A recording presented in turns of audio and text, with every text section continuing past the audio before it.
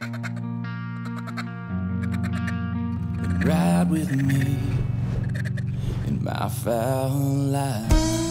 Podcast World with Shake and Chad Belding, the Fowl Life Podcast. Thank you all so much for all the ratings and reviews, the subscriptions, the downloads. We're very pleased with the numbers. It's humbling to know how many of you are out there listening to it. Hopefully, y'all are getting some tips and tactics and stories, something to get fired up for the next day's duck hunt when you get to that boat ramp and put your boat in the water that's what we're trying to do. We just want you to live with that anticipation of those mallards or specks cupped up, feet down, right in the kill hole, right in the decoy spread. Today, episode is brought to you again by our friends at Gerber Gear. Stay sharp, America. We'd never try to build a blind or cut up a duck, a deer, an elk, a turkey without our Gerber product. They got saws, they got hatchets, they got axes, they have folding knives, they have straight blade knives. They stay sharp, they keep an edge, and obviously you always want to be safe, but Gerber gets us to the next level when it comes to concealment, hiding, preparation, culinary arts, butchering, processing.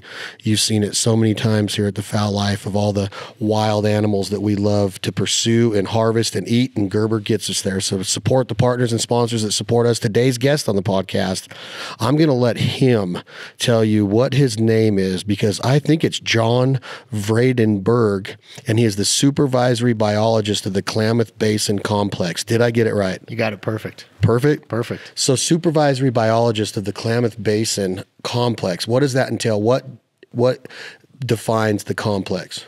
Yeah, so the there's six refuges here in the Klamath Basin, six national wildlife refuges. Three of them are in Oregon, three of them are in California. In California, we have Clear Lake, Lower Klamath, and Tule Lake National Wildlife Refuge. And in Oregon, we have Bear Valley, Upper Klamath, and Klamath Marsh. So it's roughly about 250, 260,000 acres that we're responsible for. And I supervise the program that does all the biological monitoring and habitat management across those six refuges. So you're a, you work for the federal government, Yep. and that's why you can cross the state boundary, and you're working in Oregon and California, Yes. correct? Yep. Okay, so let's just get right into it about why we're here. We we were discussing this, you know, a couple months ago. There was a big botulism breakout here, um, but there's a there's bigger things. You know, that's terrible of what happens, but there's reasons why that's happening. Um, the tourism here is down. The the the business is down here. The water is down here. The the the Klamath Refuge is suffering. 1908 it came into existence under Roosevelt. It's the law. It's the the oldest waterfowl refuge in the country. But that's kind of misleading too, if you would, uh, if you agree, John, is because there's so many animals that flourish up here, from shorebirds to mule deer to coyotes to all kinds of mountain lions and predators and and all kinds of waterfowl. But I don't even know how many species of wildlife there are up here. Do you have any idea? Wildlife, I don't know. I just looked up this morning to make sure I was right, but it's about 350 species of birds alone. 350, and then you've got all the big game. All the big game. It's crazy, game, right? yeah. Varmint, you have varmints, and you have, I mean, everything down to a field mouse. Um, it, it, it is is affected when this Klamath Refuge is in the state that it is. So, is there? Uh, do you know why? Right now, we're sitting. It's December of 2020. Tule side looks okay. There's some ducks there, but there's not many ducks. The Klamath, com, you know, the Klamath Basin is dry, 100% bone dry when that should be lights out right now. Um, what's going on? Yeah, I mean, there's a lot of things going on. That's this place is so complex. It makes it part of the challenge working here. Um, but I think it's important to step back and you know what look at what we were at historically. You know, so if we do go 1908 when the refuge was established, and you know this was four really big lakes: Clear Lake, Lower Klamath, Tule Lake, and Upper Klamath. Were just a big lakes. But I always like to define this place as it was a big wetland with some open water in the middle of it. And it was it was close to 350,000 acres of wetland habitat here across the basin. Um, and over time, that's just you know we've lost a lot of that to landscape alteration. Uh, water budgets are changing.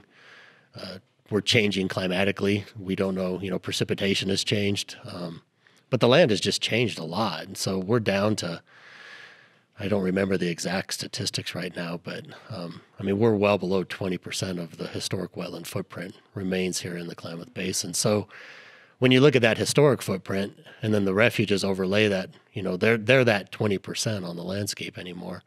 So when they start to go dry, things get tight really fast for species that need wetlands. And that's where we're at right now. We've lost all of this wetted habitat and, and the associated values with it, and we're seeing the wildlife starting to suffer. So, has this been an ongoing thing for when, when did you, how long have you been here and when did you start to see the decline? So, I've been here six years. Um, my predecessor before that, Dave Mauser, um, he did his PhD work here, and he started in the basin in the mid 90s, I believe, is when he took over the refuge, or early 90s. He was as the biologist, and you know he he sort of describes that time period of his career as when that change was really starting to happen. You know, we started to see things shifting in the 90s. Water was getting tighter. Um, in the 2000s, it started to get really tight. Early 2000s with the first water shutdown.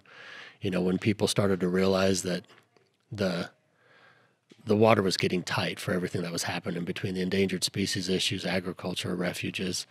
Um, there was just things were tight to make it last for everybody. And you know, we had some periods in there where we did okay. Mid 2000s, the water was doing okay, but by by 2010, 2011, we got into this pretty long term protracted drought to where we just haven't come out of it yet, and the refuges haven't rebounded. And part of that, you know, if you look at it from a biological perspective, is, you know, these are big peat systems. They were lake beds historically, and so they're they're at their most efficient when they're wet. And so when you dry those soils out, they get extremely dry. Those soils start to crack, and it takes that much more water to fill them up. It's like a sponge. You know, when you get a sponge full, it's pretty effective at, you know, it holds, you know, water sits on top of it. But when it's dry, all that water has to go in and fill it up. And that's where we're at now where we get these limited water supplies, but we went dry for so long. We fill up a lot of the soil, but we don't see a lot of surface water showing up out there. And that's just getting progressively worse year after year. And the, the more the more these drought conditions persist, the, the deeper we get into that, that water deficit.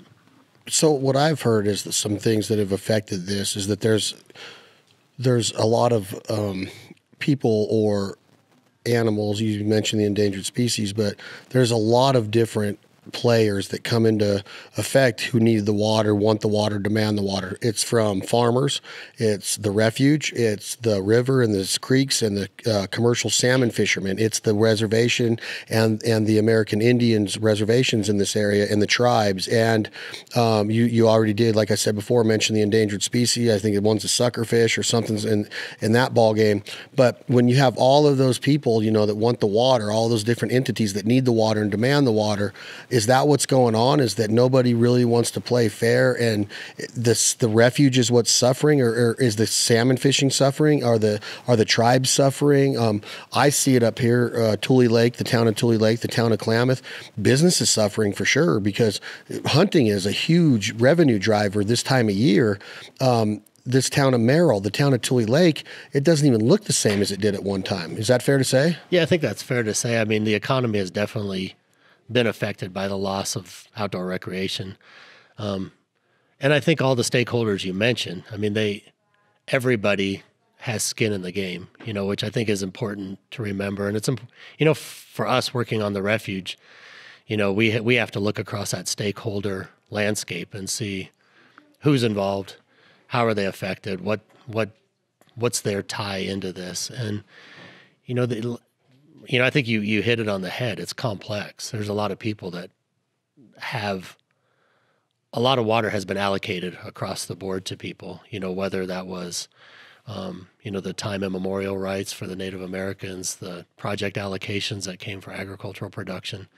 Um, but when it comes to the refuge, our water situation sits a little bit differently. You know, we're at the bottom end of the system, and when the refuge was established, the way they defined water rights was really different back then as well. You know, it was a big lake when it was established, and so our water right portfolio is a lot different um, than the other stakeholders out there. So there's a, it's a really complex background that would take you know multiple podcasts to work through all of that. But I think it's fair to say that it's really complex because so many people are really invested, and their investment is directly tied to the water and water is changing now. I mean, we're seeing snowpack in the Cascades has you know become much more dynamic. If you look, if you go back to that pre two thousand even era, I mean, we could look a little further back, but the the way water wet dry cycles came into the basin was a relatively um, it was almost a perfect curve between wet and dry cycles over a 20 year period so we would be you know really wet and we'd go through a period of dry and then we'd cycle back into a really wet year you know every 10 years it was going up and down through this this wet dry cycle in a perfect 20 year period.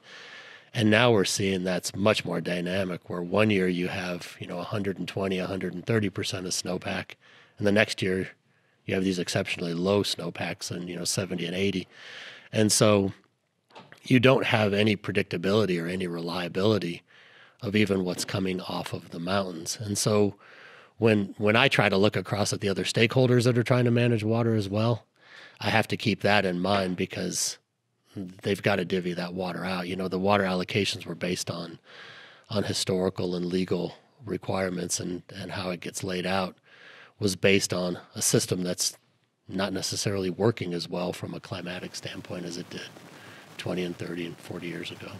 So as complex as it is and as, as many moving parts as there are, is there a simple answer of how to get the Klamath Basin Refuge water that it needs to become to stay that place where ducks breed. I mean, the California mallard population depends on this area for breeding and nesting. The mallard population in California is down. It's being affected by that all over the Butte Sink or the Rice Country. Um, there, like I mentioned before, also John, is that there's a ton of wildlife that's affected by this. Is there a simple answer of like, here's the deal: we need water the federal government are they you know i know that the trump administration has been saying some things that there is going to be some money and funds allocated to this. But the bottom line is is that this is a huge part of this area this flyway this ecosystem. It sounds to me or it seems to me like the simplicity of this is look no matter what it takes, this refuge is the most important part of all this? Or is that hard to say because then you have all of these different revenue streams that are being affected? It just seems to me like even the salmon fishermen or the reservation and the tribes, everybody's, I think that the one common goal would be to get this refuge back and healthy of where it was at one time. Yeah. Yeah, I, I think you're right. The answer is simple. You know, for the basin, for all the issues in the the basin, I think the answer is simple. You know, water we need to figure out the water issues. Um, you know, if we could solve the water issues for everybody, it would become really simple for the refuge. But that's where the complexity comes in is that the the water availability has changed from that climatic standpoint, and that's where the rub comes in. That's where the complexity comes in. Um, I, I wish it was as simple as you know we we know what the refuge needs to run. We know what the refuge needs to function. We can you know we can we can tell you energetically what we can produce with any volume of water we get at any certain times of the year. But that simplicity isn't available yet. Um, and I wish it was. I, I mean, I would make that would make our life a lot easier. But it's you know, I think bottom line it comes down to that unpredictability and unreliability of what's happening every year every year climatically is sort of the foundational issue. Um, you know, much much harder to figure that one out for sure. Um, you know, the second tier of that would be, I think what you went to is finding that collaboration between that water that we know we have. You know, how do we get to a balance with that? I think that's where, um, you know, the conversation and and the struggle um, probably needs to come and will come here in the basin because you're right. I, I think as as a basin community, people value these refuges. You know, I don't think there's anybody in the basin that would say it would be a better basin if the refuges weren't here. But I think when you're talking about the other drivers that you talked about, you know, the the fisheries issues, the tribal fisheries issues, the agricultural issues, those are stakeholders that are greatly invested as well. And so, how we have those conversations moving forward in a way that um, is collaborative and not a conflict, I think that's where the that's where it gets complex because we all want a solution, but it's getting to that solution. Okay. I was up here in September when the migration, there was kind of a little bit of an early migration this year. I watched ducks um, from from divers to teal to sprig to specklebelly geese and Canada geese moving into this area in September.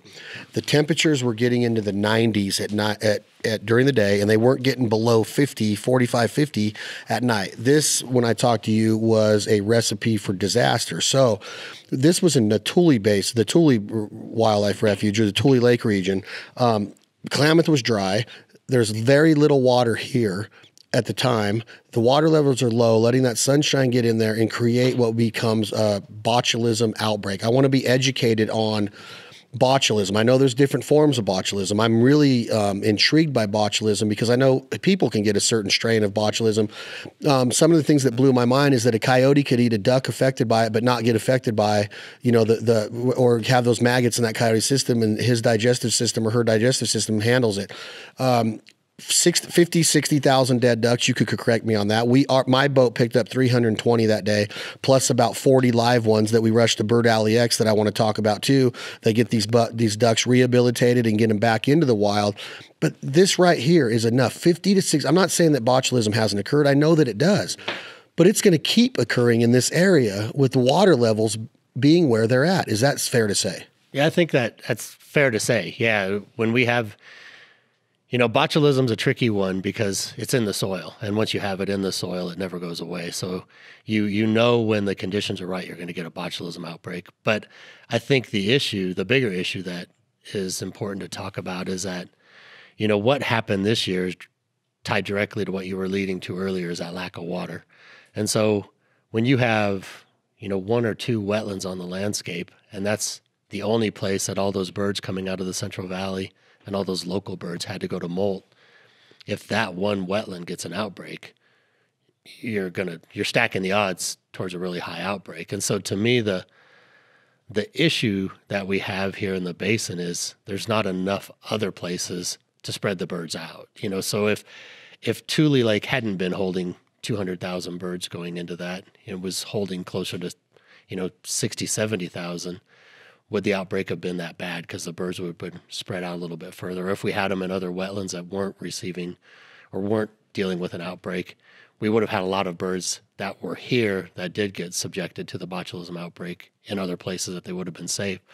So the big issue is having enough of those wetland habitats on the ground for that early part of that late summer, early fall migration period you know, the late summer for those molters coming out of the Central Valley, because that is such a key population for the state of California. Um, you know, like you said, California, their population has gone down dramatically. So any birds that we lose, you know, what they can produce there, and then they come up here and die from botulism. That's that's pretty devastating to what they're trying to accomplish from the Central Valley population. But the other side of that is that early migration, and the, it's twofold. You know, we're not those birds that we did attract then came to one wetland that was infested with with botulism. But then how many other birds did we just send right past the Klamath Basin, which was historically, you know, the main staging area in the Pacific Flyway for water birds. I mean, we, we would stage 80% of the, the fall population here. And now those birds, that late August, early September, they're just flying right by the basin, ending up in Central Valley way too early you know, and that has effects as well from a, a bird standpoint in terms of, you know, how fast are they going to go through that food? Um, how much water's on the landscape? Is there going to be depredation issues associated with it? So that spring, late, late summer, early fall water is key to not only botulism, but to that population management for the Pacific Flyway as well. So when you when you sit here as the advi- you know the supervisory biologist and you have to, and you're also a very passionate duck hunter you love ducks you love water you love all kinds of birds shorebirds everything. This is what you were educated in. This is where your love and passion was the compassion. I don't know how many times or how many tears i shedded that day or how many times i cried but just the emotional part of that and again it's all it's easy to say oh it's mother nature it's the ecosystem it's the it's how the card you know the cookie crumbles you know it's the survival of the fittest. These ducks don't stand a chance. These migrating birds were coming into this this basin which is imprinted in their minds. This is an ancestral imprinted hole for a lot of these species of the waterfowl variety, which is the main reason I'm talking about waterfowl is because of the migration. They're going, we're going to Klamath. We're stopping there along the way on our way down to the Central Valley or our way down to, you know, the Salton Sea or wherever they end up in California, the Pacific Flyway. How what's going on when they're overhead and we saw this. I watched migrating birds come in that day. What happens? They they they see there's birds out on the big water there's also boats out there picking up these dead ducks. There's dead ducks and there's live ducks that are crippled and paralyzed. Paralysis is setting in, and we're going and netting them and getting them up. But at the same time, there's new birds coming into that water source. You cannot stop. You can't build a net over it. No. So now they go in there, and what happens? They eat a they they eat a maggot, or they drink the water, or what? What? How does that next flock get it? It generally is the maggots. Yeah. So the birds come in and they you know, they land in an area that's got a concentration of, of birds. And, you know, when you think about what a duck is going through that time of year, you know, whether it's late summer, early fall, they're just they're either coming out of that molt migration or they're going into their next their next molt. so they need protein. And so you you know, if you're a duck and you're floating down the shoreline and you see this big mass of maggots floating on the water, it's a huge food resource and so they go right for it. And and a lot of you know most of it does come from that ingestion of the maggots. But you can get some levels of bioaccumulation in just the er, invertebrates in the in the wetland itself. But it's it's primarily the maggots that drive it because they just they're molting and they need protein. So how does the first duck get botulism in an area? Because does he eat a maggot or the maggots already in the water or do the maggots congregate once they see fresh dead duck meat out there or they get on they smell it they get on maggots usually will get on that meat and you, you've seen it even if you have you know pork pork chop bones in a bag they can attract maggots if you leave them in the wrong place. So how does that first duck get it? Is it does he eat a maggot? Does she eat a maggot when the water levels are that low? Are the maggots being produced in the soil? Uh, because you said botulism starts in the soil. Once it's there, it's always there. You can't get rid of it. How does that first duck in a 2020 botulism outbreak become infected? Yeah, so the, the botulism bacteria is in the soil. And so when you get the conditions, it, it needs anaerobic conditions. So it likes low oxygen conditions for it to to stimulate its life cycle to start functioning. And so when we see those, like you mentioned, those temperatures at 90 degree days, 50 degree nights, that's where we're starting to get low water levels and not much dissolved organic or dissolved oxygen in the, the water column. And so that bacteria starts to go through its bacterial phase or, you know, its life cycle. As it's doing that, it it has the, it produces the the toxins a byproduct of that cycle of the bacteria going through it and it needs a protein source. So if there's a dead fish on the water, you got a bunch of rotting vegetation, or you have um, a lot of invertebrates on the shoreline, that protein source is enough to get that bacteria to start its cycle. And so, if you know, even like a fish carcass, if there's maggots on that and a duck comes by, that becomes case number one, and then it just bio bio magnifies, and the the toxin, you know, it's a toxin that that kills the birds. It's not a disease; it's a toxin, and that toxin lives in invertebrates. You know that cycle is in invertebrates. So it's kind of a you know it's it's a bad thing for ducks when you need invertebrates. You know that's your food resource, and that's where this toxin is is hiding out in. How uh, before we go to how the botulism is killed or it goes away because now it's colder. Mm-hmm. The ducks aren't being affected by it anymore this time of year, but just a couple months ago they were. What happens to the duck? What does it go? Because you know, if you if I if I could describe this ride, if a duck hunter is listening to this, he or she, if you've seen a crippled pintail, once you shoot it and it's out in the water, and sometimes you know they you could tell that they're hit and their heads are just bobbing left and right. You've seen it. The dogs are swimming at them and they're they can't do anything about it. They're done, but they're not dead yet. When I saw these ducks, you'd see a little ripple on the water. They're moving a little bit, and their heads were doing the same thing. They had no control of their their skeletal system, their muscular system. It was like paralysis was setting in. So once that duck, female or male, is infected by botulism, what does what does that duck experience? Yeah, so it it moves relatively fast. You know, it it hits them, and they start to you know get minor paralysis. Generally, you start to see it in the wings or the legs or the neck. You know, so you'll like you said, you'll see their neck kind of wobbling or their head wobbling, or you'll see them s- sort of steaming across the water, um, not able to fly. And then as you know, the paralysis goes further and further, they just lose all all um, muscle function. and ultimately what kills the birds is they drown, which is just you know horrible to think of from a standpoint of these are water birds and they're they're out there drowning. Um, but that's generally what what the cause of death is is drowning. Or, you know, a lot of times they'll get up. Um, you know, they they try to they try to find cover like in tules and stuff to get cooled down because they get hot out there. Um, but a lot of times they get exposed out on those mud flats and they just die from heat exhaustion as well. But um, yeah, it's it's it's not pleasant at all. You know, like you mentioned, it's a Is it's it a horrible thing painful? to experience. I I, I couldn't You can't speak tell. Yeah, I couldn't speak. You can't really get it. Like if a dog's in pain, you can tell. Yeah. So the ducks that were saved by your efforts and Mike McVeigh's efforts and California Waterfowl Association's efforts and had a lot of volunteers up here on on on airboats netting these ducks, putting them in crates and getting them over to Bird Bird Ally X. Um, what saves the duck? How is this? Is this a what is this? This is a um, is it what is botulism considered? Is So it's it a toxin. It's a toxin. It's a So is it a is there a cure? Is it like a vaccination? Could a duck have like we're talking dur- during Corona right now? Could you go when you're doing a banning initiative? Could you? Is there a botulism vaccination that would prevent a duck from getting this? Or and then what is the cure for it once they are saved and they're still alive and you get them somewhere like Bird Ally X and their makeshift hospitals? Yeah, as far as I know, there's there's no cure at all. I mean, there's no no uh, vaccine. There is an antitoxin that you can give them when when they have it. Um, you can hit them with that axi- antitoxin, or you know, and it's just like rattles. You know, if your dog gets bit by a rattlesnake, you can give them the anti venom. It it helps turn it around. Um, so you can you can administer that antitoxin and help them.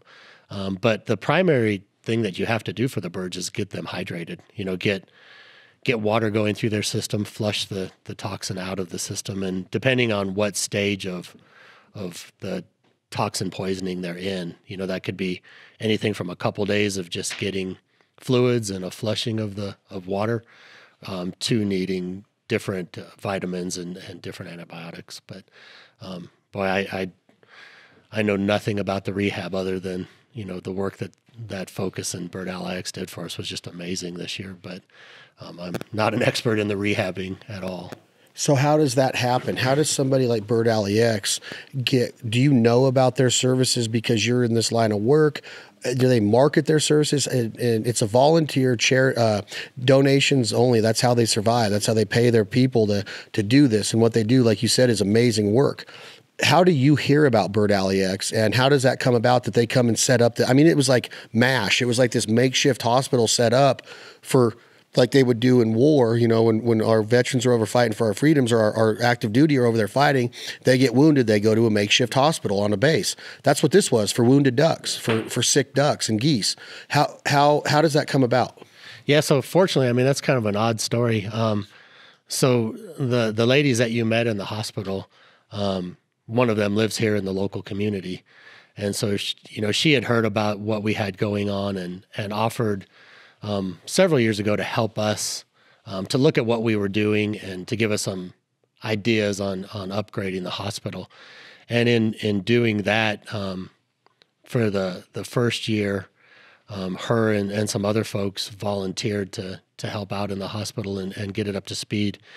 And so then we realized that um, you know we couldn't handle that as a staff, so we put that out to contract, um, and it was bid on by Focus Wildlife, who is another wildlife rehabilitator that does work up and down the Pacific Flyway. And then they contracted local people that you met to help out with with that.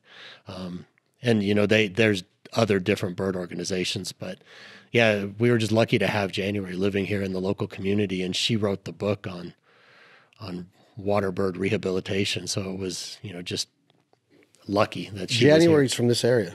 Yeah, she lives here in Clinton. What a cool name. Yeah, yeah, She was awesome. yeah. She's amazing. And just the care and the compassion she has to have for animals to do that. Yeah. But she's also a hunter.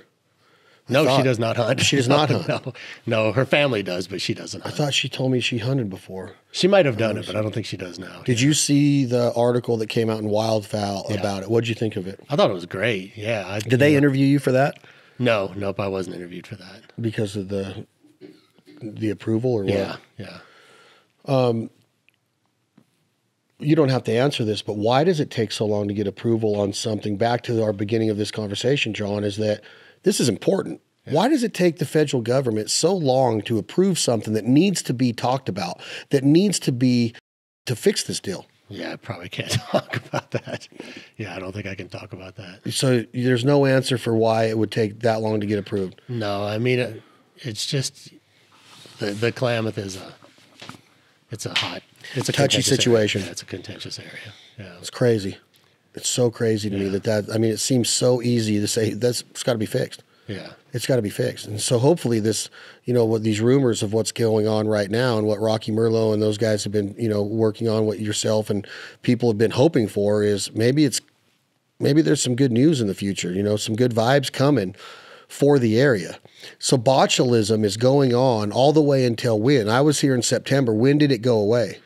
This outbreak lasted from about the first week of July to mid mid October. Um, and it to stop botulism, you need that maggot cycle to stop. And so, you know, we normally look at once we start to get frost that the maggot cycle is going to end. But this year we would get cold at night and then we'd get up to 60 during the day and it never killed the flies. And so it just continued on and on and just would not end. It was, I mean, we were, we were, we had Sump 1B closed early. We were picking birds up the day before we opened uh, 1B to hunting because there was still, you know, lots of, lots of birds out there and, you know, not as many being affected, but, but still fresh cases every day. And that was, you know, October 20th, somewhere in there. Wow. So after opening day. Yeah. Yeah, it, was it lasted forever. It was horrible. And do you know a number that was picked up? we picked up, you know, the the official count was somewhere around twenty five to twenty eight thousand that we we picked up. Um, you know, and then we generally, you know, and that was we had a lot of birds in Sump One B going into you know Sump One A we picked up right around twenty thousand, and then when we finally got into Sump One B when the water come up en- came up enough that we could run boats out there, um, you know, and just we went out there two days in a row for an hour and a half, you know, after the end of shooting time, so we weren't disturbing the birds. And each day we picked up over two thousand birds in that that hour of time, hour and a half of time. And then then it opened, and once it opened, we couldn't be out there, you know, causing more disturbance to the birds after the the hunt closed. So you assume it's over at that point. It's more cosmetic getting the birds out, but um, but there were still cases happening up until the end. Why get them out? Sounds like a dumb question, but is it because there's a ton of maggots on those birds, and the more birds you get out of there that are already infected or dead, killed by botulism, you get them out of there because you're removing all the maggots that's in that duck? Yeah, so it's, you know, the science is really, um, there's a wide range of thoughts on botulism cleanup, you know, ranging from, you know, you should do 100% everything you can to get every bird out of the system to you should just leave them and let nature take its course. And that really depends on what kind of system you're talking about. So, um, most of the time, you know, the experts that we talk to say if we feel like we're, we're getting a really good cleanup, we're getting, you know, well over 50% of the birds out of the system, then you are removing to a certain degree that that maggot biomass that's out there, you know, those carcasses that are producing more and more maggots. But when the cover starts to get really thick and your detection rate declines, you know, to where you're not finding the birds, you're just you might be causing more disturbance that's actually, you know, causing more stress to the bird and and not causing the positive effects that you'd like to. So um, we we try to on you know like you saw Sump 1A, it's relatively open, when the water was down, you could be pretty confident that you were seeing most of the birds that were affected and, and getting a good cleanup. So we we've prioritized that, trying to get the maggot cycle down and and get the toxin out of the system, but you know sometimes you just can't you can't access them or you can't find them So if a hawk or a bird of prey, an eagle, golden eagle, bald eagle, is flying over this unit, first off, does it attract more birds of prey when this happens? Does does it bring in more of that type of thing? You start to see more coyotes around the area because they start to smell it. The, obviously, coyotes on scent, but visually, are these birds of prey say, seeing it? Because I I, I thought I had been told by you or somebody that average wise around here historically there's not a lot of birds of prey around is that true yeah at this time or you know in the summer during the botulism we don't have a lot of the eagles they're just not here yet they that's a that's more of a wintering thing and a lot of the other raptors we have aren't necessarily interested in waterfowl. Um, you know, the falcons that are going after waterfowl aren't picking up carrion, so we don't have as we don't have those issues with a lot of the birds of prey. Um, some of the red tails and stuff will pick up, you know, carcasses when they find them, but you just don't see the the raptor base that we have here in the summer really keying in on those carcasses. The mammals we do for sure. I mean, you definitely see the coyote populations going up around the sump and the the um, raccoons. You start to see a lot of them, but with the the cholera, which is the other waterfowl disease that we tend to see in the winter, you know, anytime from now till um, spring, that definitely that's a that's a driver of eagle populations. Um, you know, when when we had the really high eagle populations in the Klamath Basin, that was when we had really high waterfowl populations, and with really high waterfowl populations, there's you know more mortality from cholera, and so those eagles were just keyed in on, on coming and feeding on cholera birds. So, if an eagle eats a carcass of a dead duck that was d- killed by botulism that has maggots on it, does that eagle get botulism? As far as I know, no, but don't quote me on that. You know, I'm not an expert on the, but def, you know, it's from what I've read, it's definitely more focused on the aquatic birds. This strain of botulism, we have the the the toxin Wow, that's C. crazy that a bird Yeah. of prey that is still, you know, has kind of the same makeup as far as the, you know the skeletal system of a duck or a goose, you know, size wise. What if they land in the water and eat the maggots out of the water? They're just stopping for a drink. Do you have you heard of eagles or anything getting botulism? I, I've not heard of any of those getting botulism, you know, but you know, we tend to see them feeding on the carcasses and not on on the maggots, and the maggot cycle seems to be worse. You know, when you take the carcass and you get it out into the drier areas and you've removed it from all the flies that are there, it doesn't seem like the the maggot cycle. You don't see them as much on those drier carcasses as you do out in the wetland. So it could be a function of that, or it could just be we don't have birds that are targeting in on on carcasses that time of year. I don't know. Um, but when you you know we have even different water bird species don't get the strain that these birds were getting. Other ones get I think it's toxin E, which is they get more from fish. So that's when you start to see mergansers and cormorants and um, you know the diving birds get that strain of of botulism, and these birds tend to get the I think it's C, um, botulism C. when when you start talking about the water again and all of the different areas where water is being pulled from not pulled from to fill this place but people are pulling from all different directions to get the water that's in this area is it is it something that the water levels of where the folks around here are hunting this year because this is a hunter's paradise. Yeah. Huge mule deer, huge antelope, elk not far from here. Uh, unbelievable waterfowl hunting here historically. Dry land hunting, you know, as far as getting ducks and wheat or corn in this area, it's unbelievable. I've seen it just the goose hunting can be amazing here.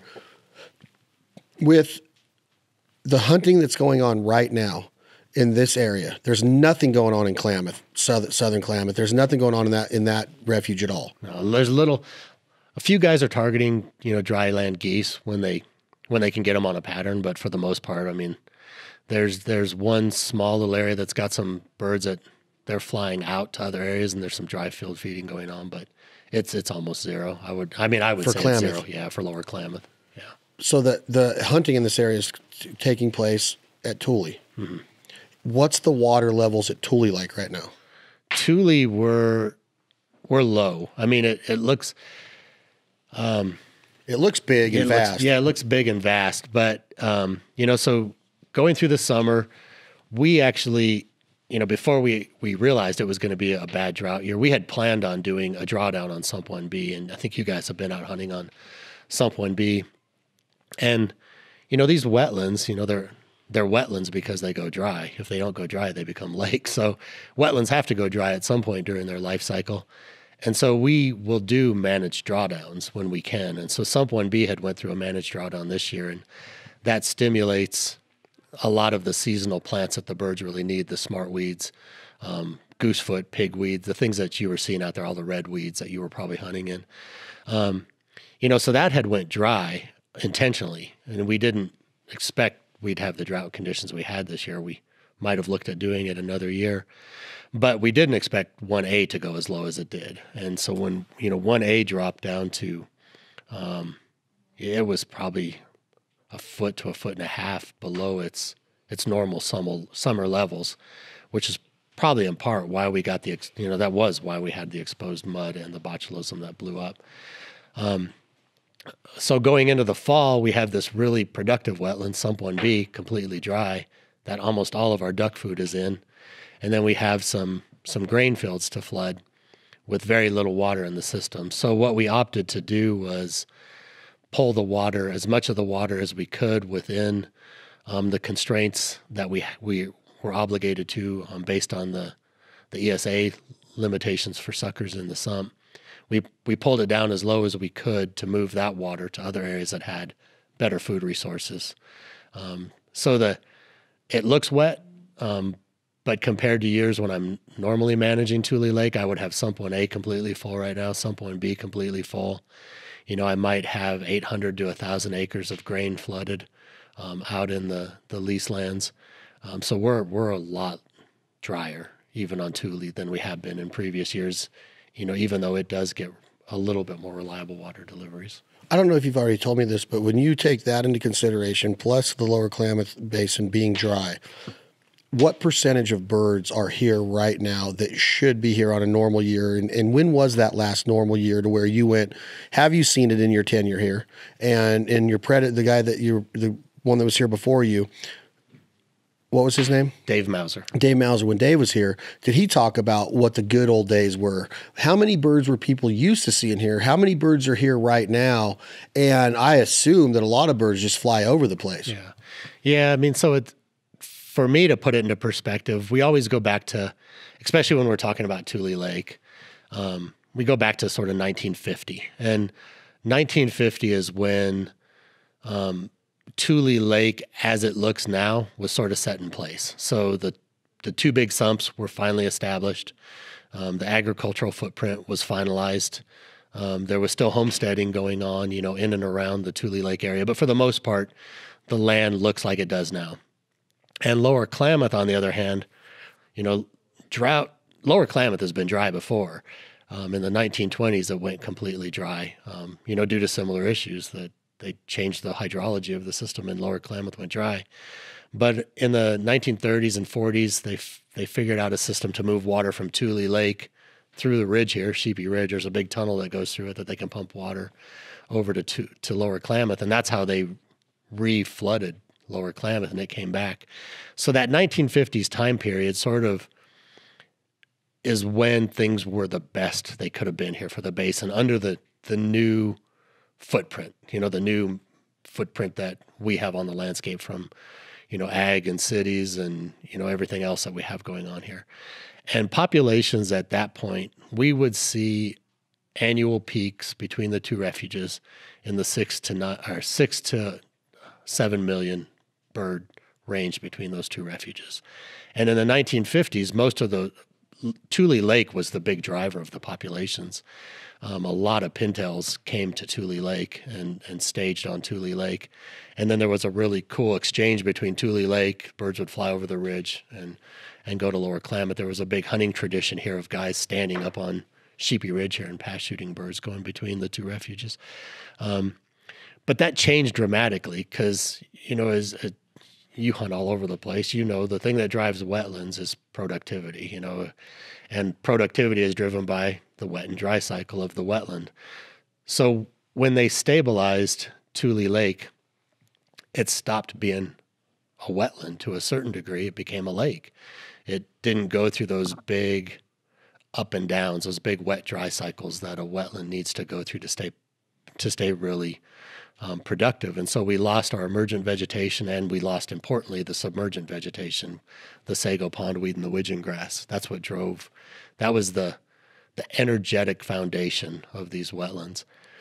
Um, so by the 1970s, that population, um, we had dropped down to, you know, between two and three million birds was sort of the peak in the 1970s. And then that stabled off, you know, and stayed right around 2 million for the, lo- the longest time from 70s on. But importantly, numbers really increased on Lower Klamath. Lower Klamath became way more important than Tule Lake beginning in the 1970s and definitely in the 80s to 90s. Um, the population really shifted to Lower Klamath. So, you know, as that population shifted, that's about when things started to get bad again for Lower Klamath, when the water reliability started to change. And you know, by the '90s, water reliability um, had really changed for Lower Klamath. So in in Dave's time, he talks about coming up here as a student from Humboldt and having this amazing waterfowl resource that they could come up here and hunt when they were skipping classes or in between tests. Um, to when he did his PhD work on nesting mallards, you know, having this great mallard mallard nesting population, to when he left, you know, kind of the conditions that I inherited. Um, you know, these really um, decreased wetlands, really decreased waterfowl numbers. Um, you know, so to put that his- history in perspective, this year, the last survey I was able to fly was November 2nd.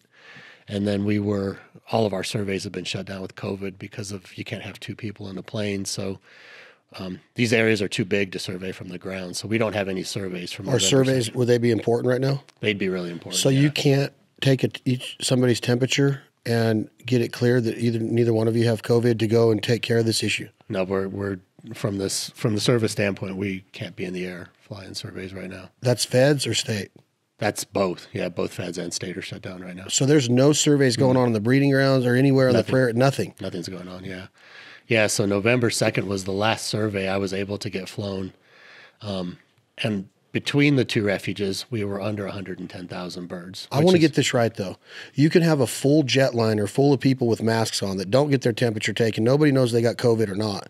They're sitting three to an aisle. Some of these airlines have the middle seat open, but the federal government will not let biologists go up two at a time in a prop plane to survey this important factor of our ecosystem.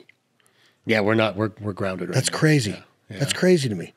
Like there's no I, I don't understand how they can make sense in their own minds. Like that just that's the kind of things that that are affecting this as a whole that we need to those studies and those numbers and those surveys being done.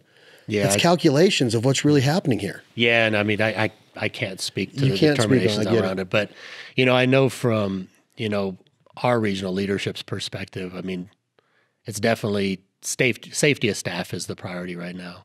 Um, you know, so some of these things that we traditionally do just just aren't happening.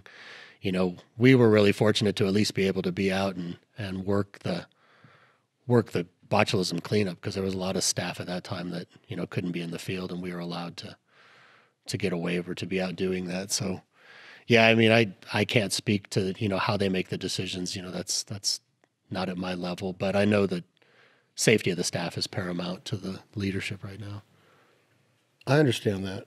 Yeah. I understand that 100%. And I don't take that for granted. I'm not ignorant to it, but it just seems if it's two healthy biologists that get their temperatures taken, they don't have any symptoms of this COVID, that they could go up and do their job. But uh, again, that's neither here nor Yeah. there. That's something that you have no control of. Right. But where do we go from here? Yeah, Where, where so- do we go from here with the state of the lower Klamath? Um, talk to me a little bit about this. I want you to tell me where we go from here. But organizations like California Waterfowl, the the task force that Rocky Merlo has been so instrumental in putting together. Where where does this sit with you as a very educated asset and and source of information in this situation? Where what where does that sit with you? How do you, how do you look at an organization like CWA, this task force that's been put together by Merlo and the other p- people on the board? Um, is they're obviously allies Yeah. is it a waste of time? Is this effort, is this something that needed to be done? Did it get you fired up to see that it was being done?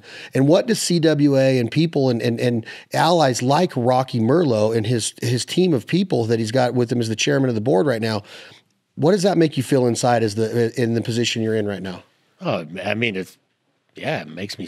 I mean, I I couldn't be happier that we have those kind of advocates on the landscape. You know, um, as working for the federal government, there's only you know there's things we can and there's things we can't do, and and our expertise is is definitely working on the ground and and dealing with the management issues on the ground, and so having stakeholders that are invested in us is amazing. You know, and and CWA has they have stepped up and you know they've they've done a ton of homework understanding the issues and understanding the challenges of the basin and they've done a really good job in you know from my perspective in balancing out that they're an organization that's definitely passionate about waterfowl but they understand the landscape has a has a bunch of stakeholders that their central focus may not be waterfowl so they've done a really good job i think about understanding that landscape, being able to um, work with those different stakeholders, engage those different stakeholders, like you said, through the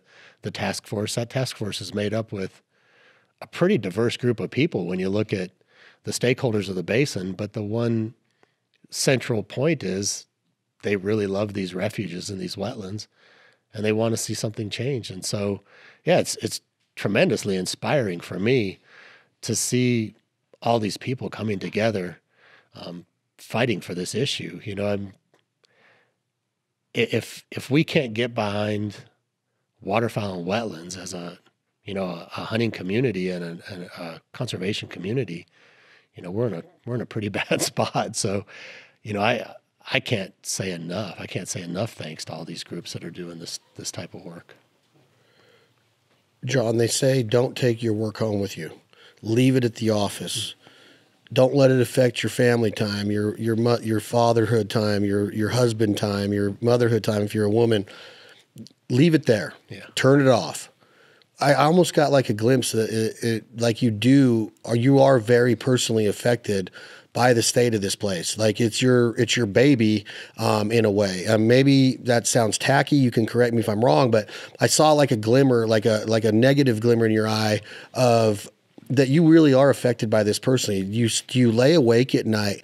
Does it affect you to see all those dead birds and botulism hit? Does it affect you to see this area of this this land that you love so much? The tourism affected, the revenue streams affected, shops and hotels and stores closing down, bars and restaurants closing down because hunters can't support it. Could you imagine the Canadian prairies if we weren't allowed to go to Canada every starting in September and maybe spring bear hunts, but go up there for the waterfowl season, the fishing season? Americans aren't allowed to cross the border. We're you know how many how much revenue is lost by these prairie towns, not just the outfitters, but I don't know how many hotel rooms I've booked in Canada and how much gas I've pumped and how many beers we've bought, and how much restaurant money we've spent.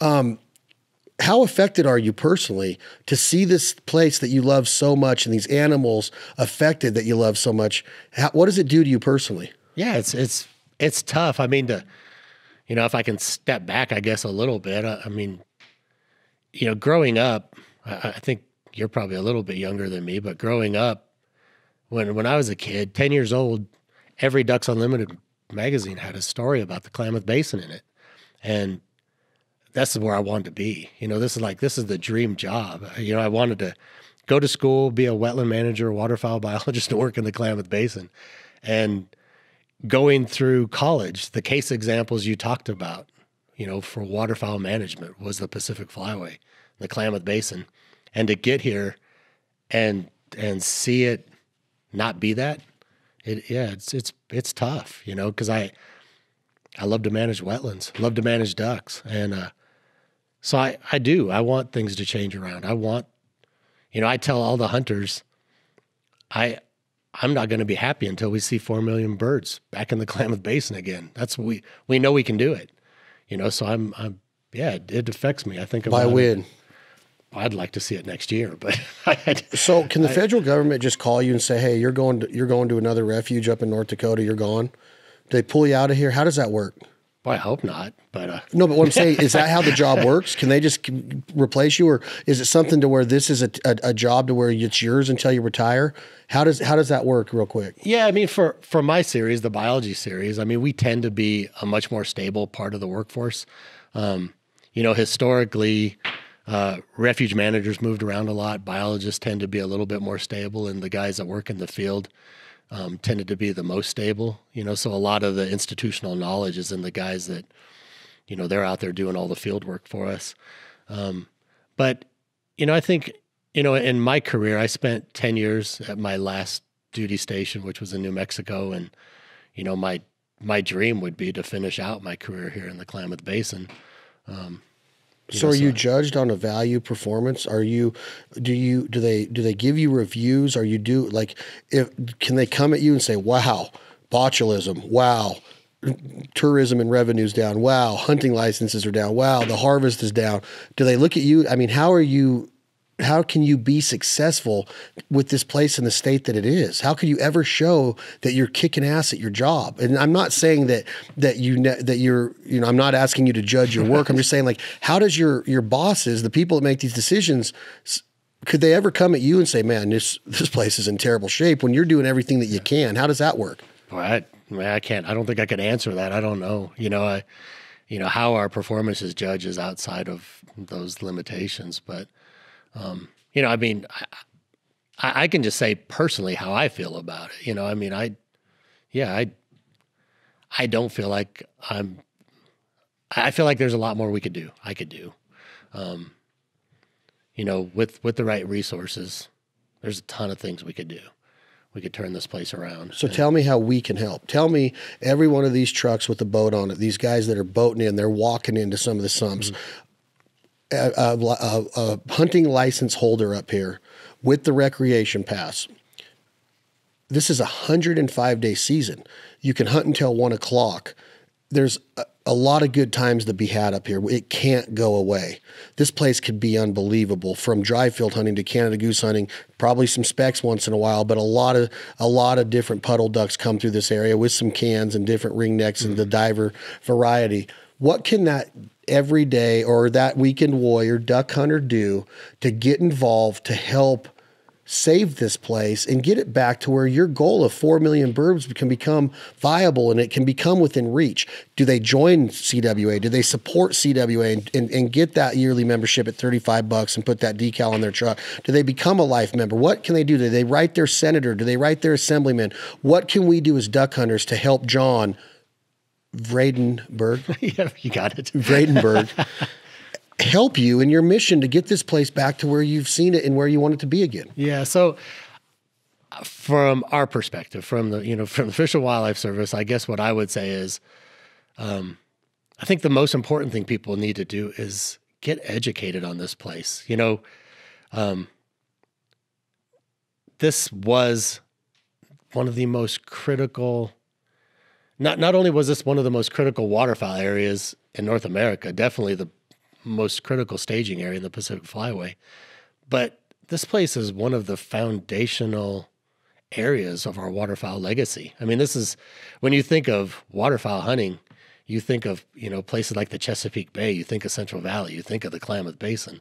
This place is a legacy foundation place. So get educated on it, know what's going on here and learn what's going on here. And then I would encourage them to um, you know, reach out and, and join the NGOs. I yeah, I can't say who or what they should what they should join, but I would encourage them to get involved. You know, get involved with a group that that matches their personality matches their desires, and and and you know do what they can within that agency, um, because yeah, together we can do a lot more. You know, the more people that are interested, the more.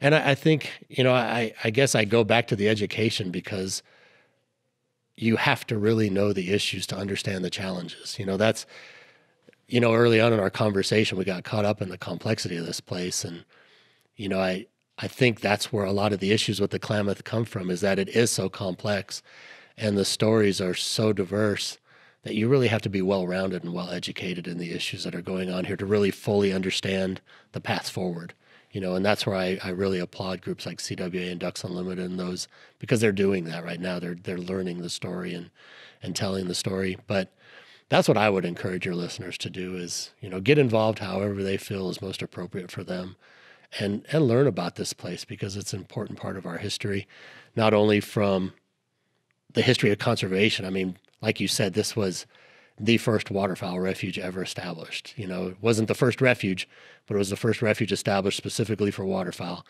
And importantly, at that time, it was the biggest refuge in the, you know, it was one of Roosevelt's biggest um, protections that he did, you know, for from the from that time period. So it was huge. It was very forward thinking. Those guys that were thinking about that at that time of year were just such visionaries. And it's our job to keep that vision going forward. I mean, I I, I, I hope we can we can bring it back because it's, it's, a great word to place. use. Yeah. Visionaries. Let's get involved. Let's get them back to where they need to be. I'm Chad Belding. Thank y'all so much for joining us.